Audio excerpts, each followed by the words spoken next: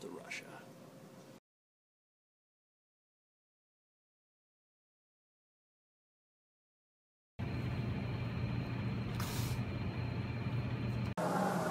Hey, guess what instrument I don't play?